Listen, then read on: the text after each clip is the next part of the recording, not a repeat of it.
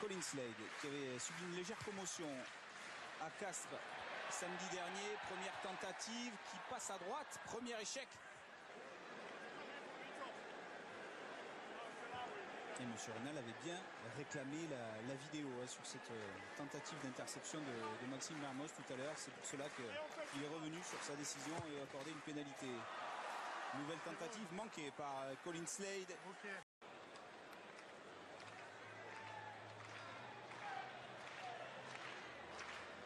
Allez, le public palois qui se réveille, qui va encourager Colin Slade dans sa tentative.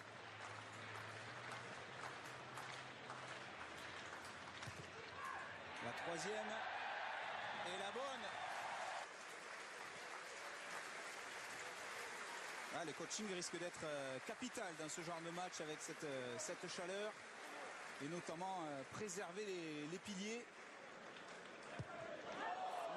Slade, ça part largement à droite, ça ne passe pas. C'est son troisième échec en quatre tentatives. Slade, qui n'est pas du tout en réussite depuis le, début du match. Il est à 1 sur 4. Daubagna l'avait bien supplé tout à l'heure, mais il est sorti de demi de mêlée. Important cette transformation, importante.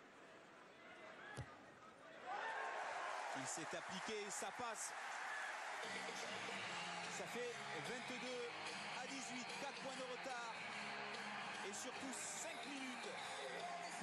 chercher une victoire.